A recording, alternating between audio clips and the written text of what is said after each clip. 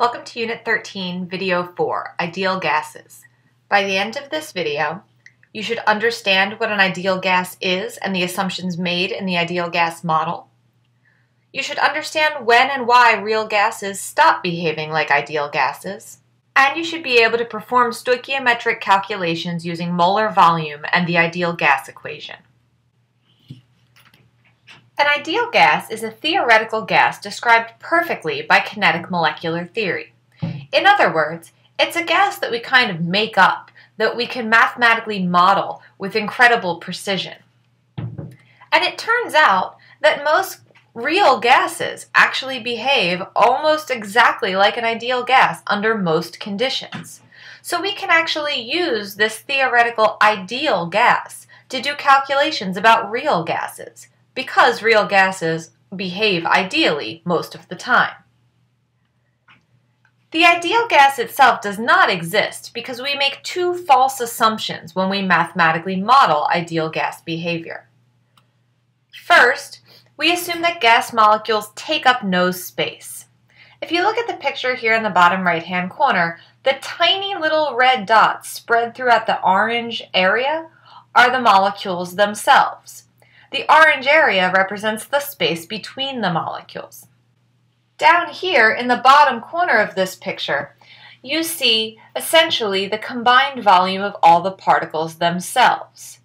Notice that the red square representing the combined volume of the actual particles is relatively small compared to the orange volume of the entire gas. Therefore, we say that the volume of the particles themselves is negligible, we say they take up no space. Another example would be if all of us in the entire class were to go to Yankee Stadium and spread ourselves out as far as we could all around Yankee Stadium. The volume of the stadium itself would be far, far greater than the volume occupied by our bodies alone. Therefore, we could say that the volume we occupy is negligible as compared to the entire volume of the stadium. We also assume that gas molecules do not attract each other. This is also a fair assumption since gas particles are so far away from each other that they actually don't really attract each other to any significant extent. Again, if we're all spread out at Yankee Stadium, it's very hard for us to interact with one another because we're so far apart. Again, these are false assumptions but they actually work to allow us to mathematically model gases. PV equals nRT is the ideal gas law, or Pivnert. This describes the behavior of an ideal gas in terms of its pressure, volume, temperature, and number of moles. It's actually a combination of Charles' law, Boyle's law, and Avogadro's law that you learned at the very beginning of the year. In this law, P stands for pressure, V stands for volume, N is moles of gas, T is temperature, and R is the universal gas constant, which is 0.08206. You will be given this constant, you don't need to memorize it. This law will work as long as your temperatures are in Kelvin, your pressures are in ATM, and your volumes are in liters. Just a reminder of some conversions before we move on. Remember that to convert between ATM, torr, and millimeters of mercury, 760 torr is equal to 1 ATM. To convert to Kelvin from Celsius, you add 273 to the Celsius temperature, and to convert from milliliters to liters, you divide by 1,000. Here's some example problems to try. We'll do the first one together, then you can try the rest on your own. This first question asks how many moles of argon gas at 104 degrees Celsius would occupy a volume of 6.8 liters at a pressure of 270 millimeters of mercury. We know this is an ideal gas law question because it asks about moles and gives us pressure, volume, and temperature. So I'm going to start by writing our equation, PV equals nRT. Notice I'm given temperature in degrees Celsius, so I'm going to convert that to Kelvin by adding 273 to the Celsius temperature to get 377 Kelvin. I also need to uh, convert my pressure from millimeters of mercury to torr, so I'm going to divide 270 by 760 to get 0.355 ATM. Now I have everything in the proper unit, so I can actually solve the problem. Plugging my pressure, 0.355, my volume 6.8. I don't know my moles, so that's N. Ideal gas constant R. And T 377. I can solve for N. Solving this equation, I find that I have 0.079 moles of argon. Pause the video here and try the next two on your own. When you return, I'll reveal the answers. Welcome back. Here's what you should have gotten. As we mentioned before, ideal gas law makes some very important false assumptions. These false assumptions don't really matter under most conditions. But notice, real gases do deviate from ideal behavior under certain conditions. A real gas will stop behaving ideally at low temperatures and high pressure. This should make sense. Consider the picture below. Notice that at a high pressure, the volume is much, much smaller. Therefore, the volume of the gas particles themselves begins to become much more significant. Again, imagine that we're all at Yankee Stadium, but now instead of all being spread out throughout the stadium, we've all crammed into one elevator. Now the volume of our bodies is much more significant as to the uh, as compared to the space in the elevator. Luckily, we don't do much work at low temperatures and high pressures, so this won't really affect our calculations in any significant way.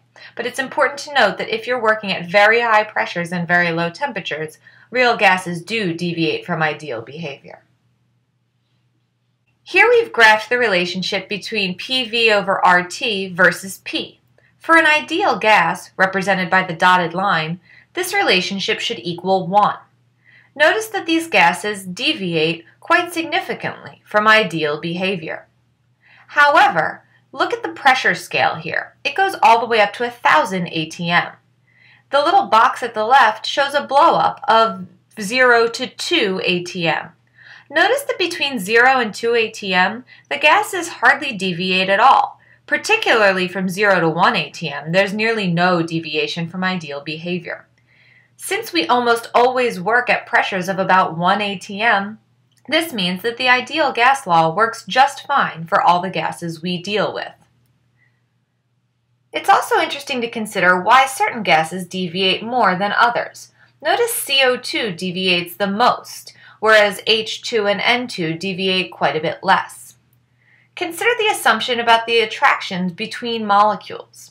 CO2 has stronger intermolecular forces than H2 or N2 due to the fact that it has more electrons. Therefore, its dispersion forces will be stronger, which causes it to deviate more because it disobeys the assumption that particles do not attract each other. Consider the math we've been doing using PV equals nRT. Notice that at no point do we take mass or identity of the gas into consideration, only its pressure, volume, temperature, and moles.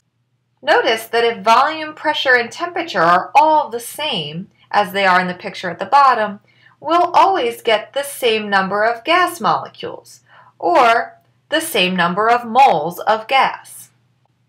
Even though the masses will be different because the mass of each individual particle is different, in our PV equals nRT calculations, we will always get the same number of moles given the same volume, pressure, and temperature.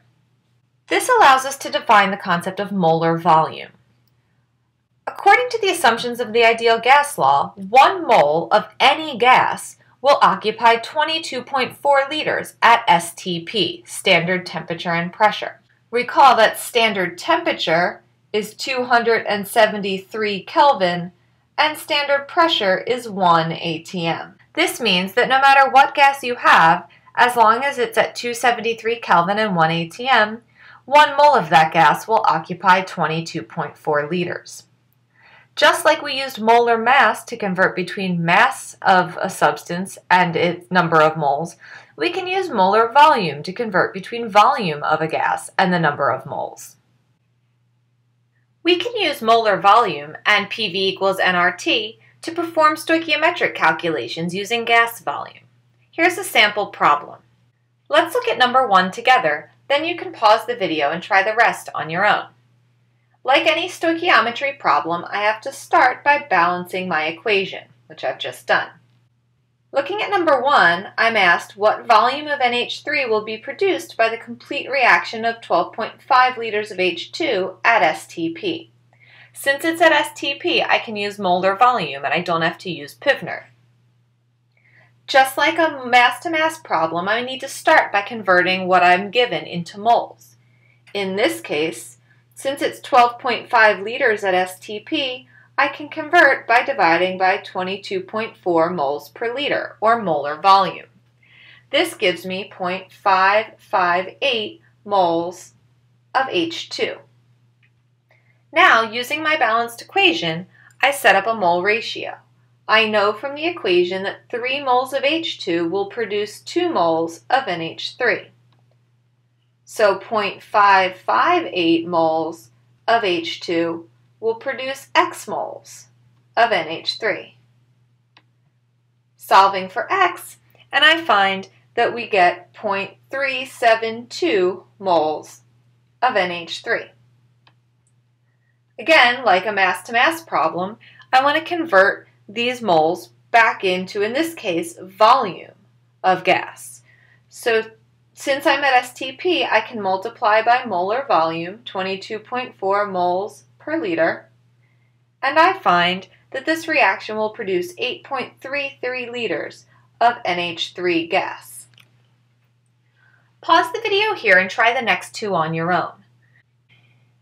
Notice in number 3, you start at STP, so you can use molar volume for your conversion of N2 to moles, but your conversion of H2 to moles will have to use Pivner, since you're at non-standard conditions.